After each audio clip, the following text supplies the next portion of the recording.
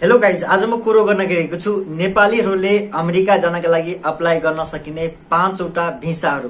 ती भिसाहरू के के रहेको छ र तपाईँ कसरी अप्लाई गर्न सक्नुहुन्छ यसको बारेमा तपाईँलाई आज म इन्फर्मेसन सेयर गर्न गएको छु। साथीहरू धेरै साथीहरू छ जसको इच्छा होला म अमेरिका जान चाहन्छु।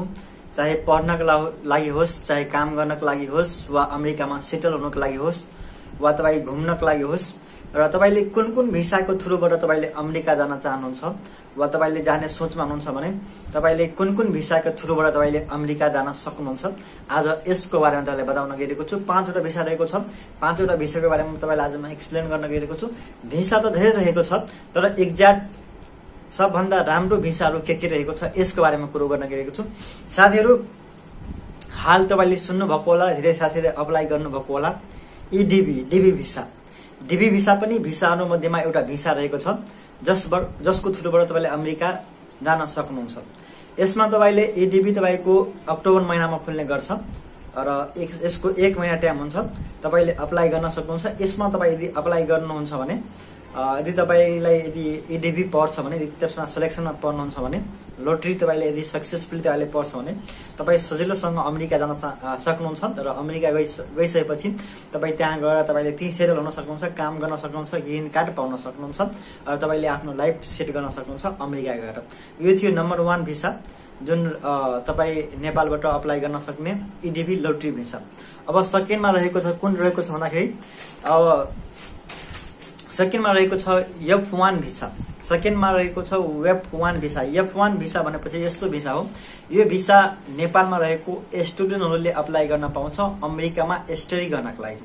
यदि तपाईँले स्टुडेन्ट हुनुहुन्छ यदि तपाईँले यदि ब्याचलर गरिसक्नु भएको छ यदि तपाईँले ब्याचलर गरिसक्नु भएको छ कुनै पनि तपाईँले सेक्टरबाट जस- जस्तै तपाईँले अब जस्तै डिग्री गर्नुभएको छ चाहे पिएचडीको लागि होस् वा तपाईँले ब्याचलर गर्नुभएको छ मास्टरको लागि होस् वा तपाईँको आइटी फिल्ड होस् यस्तो फिल्डबाट तपाईँले यदि अमेरिका जान चाहनुहुन्छ स्टडी गर्नको लागि त्यस्तो अवस्थामा एफ वान भिसा तपाईँ अप्लाई गर्नुपर्ने हुन्छ एफ वान भिसा तपाईँले अप्लाई गर्नुहुन्छ भने त्यसमा तपाईँको त्यहाँको कलेजहरूले तपाईँलाई इन्टरभ्यू लिनेछ त्यहाँको कलेजहरूले तपाईँलाई कन्ट्याक्ट गर्नेछ र तपाईँलाई त्यहाँको ल्याङ्ग्वेजहरू पनि सिक्नुपर्ने हुन्छ र यदि तपाईँले सजिलोसँग एफ वान भिसा अप्लाई गर्नुहुन्छ भने तपाईँले यदि एफ वान बी भिसामा सेलेक्सन यदि पर्नुहुन्छ भने तपाईँ अमेरिका जान सक्नुहुन्छ। अमेरिका यदि तपाईँले जानुहुन्छ भने तपाईँलाई एफ वान बी भिसाबाट अमेरिका जानुहुन्छ भने तपाईँले खर्चिलो धेरै छ तपाईँको खर्च लाग्छ र खर्च यदि तपाईँ गर्नुहुन्छ त्यहाँ गएर तपाईँले सुरु सुरुको स्टेजमा धेरै तपाईँले त्यहाँ ब्याङ्क ब्यालेन्सहरू देखाउनु पर्ने हुन्छ। तपाईँले स्टडी गर्दै जानुहुन्छ भने तपाईँले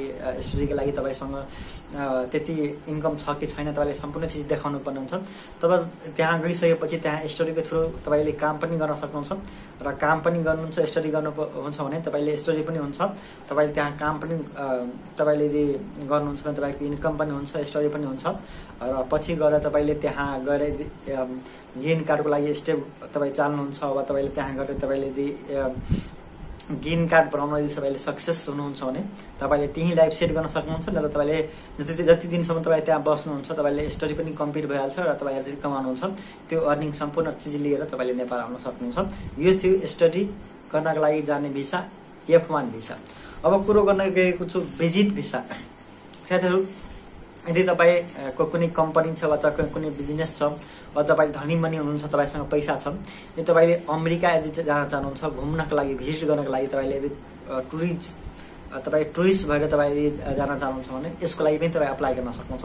यसको लागि पनि तपाईँलाई के कामको लागि तपाईँले भिजिट गर्न जाँदै हुनुहुन्छ तपाईँको मेन गोल के रहेको छ अमेरिकामा तपाईँले के हेर्न जाँदै हुनुहुन्छ तपाईँको बिजनेस के छ तपाईँको इन्कम के छ तपाईँ त्यहाँ गएर घुम्नै जानुहुन्छ कि तपाईँले त्यहाँ गएर तपाईँले कतै काम खोजीमा जानुहुन्छ त्यहाँ गएर तपाईँले फर्किनुहुन्न। त्यस्तो किसिमको तपाईँको त्यो हुन्छ। तर तपाईँले यदि तपाईँले भिजिट भिसामा जाँदै हुनुहुन्छ तपाईँको कुनै कम्पनी छ कुनै बिजनेस छ वा तपाईँले कुनै राम्रो पदमा हुनुहुन्छ भने यस्तो अवस्थामा तपाईँले भिजिट भिसाको लागि अप्लाई गर्न सक्नुहुन्छ र तपाईँले अमेरिका जान सक्नुहुन्छ। यो तिन महिनाको हुन्छ र तिन महिना तपाईँले अमेरिकामा बस्न सक्नुहुन्छ। आफ्नो पैसा लिएर खर्च गरेर तपाईँ सजिलोसँग अमेरिका घुम्न सक्नुहुन्छ। अमेरिका घुमिसकेपछि तपाईँले फेरि तिन महिनापछि तपाईँले रिटर्न नेपाल आउन सक्नुहुन्छ। यो थियो भिजिट भिसा अर्को रहेको छ एच वान बी भिसा। साथीहरू भिसाहरूमा सबभन्दा बेस्ट भिसा अहिले रहेको छ एच वान बी भिसा। यो भिसा तपाईँको भर नेपालबाट तपाईँको पचासी हजारजनालाई खुल्छ। त्यसमध्ये तपाईँलाई समथिङ बिस हजार स्टुडेन्टको लागि हुन्छ स्टुडेन्ट पढ्नको लागि। र बाँकी यता तपाईँको साठीदेखि पैँसठी हजार जुन हुन्छ। त्यो भिसा भनेको तपाईँको अल ओल्डबाट संसारभरिबाट हुन्छ। र एच वान बी भिसा यदि तपाईँले ब्याचलर गर्नुभएको छ यदि तपाईँले कम्प्युटर फिल्डको हुनुहुन्छ उता आइटी गर्नुभएको छ वा तपाईँले कुनै पनि यदि ब्याचलर लेभलको स्टडी गरिसक्नु भएको छ भने त्यस्तो बेलामा तपाईँसँग यदि वेल एक्सपिरियन्स केहीको छ भने तपाईँले H one B visa apply गर्न सक्नुहुन्छ। H one B visa apply गर्नुहुन्छ भने एच वान बी भिसाबाट तपाईँले यदि त्यो पनि एकसेम एउटा लट लोटी जस्तै निकाल्छ। र बढी गएर इन्डियाबाट चाइनाबाट मान्छेहरू बढी एच वान बी भिसामा गइरहेको छ। अमेरिका। र नेपालबाट पनि गइरहेको छ। नेपालबाट पनि धेरै मान्छेहरू गइरहेको छ। योभन्दा अगाडि साल पनि गयो।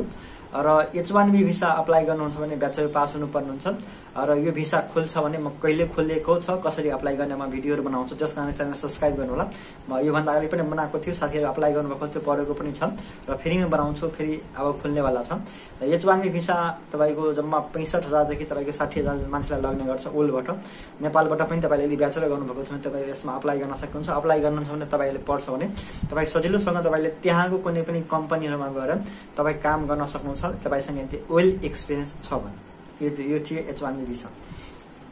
अर्को हुन्छ H H two B visa. त्यो एच टु बी भिसा भनेपछि यो तपाईँको सिजनल भिसा हो। यो नेपालको लागि हुँदैन।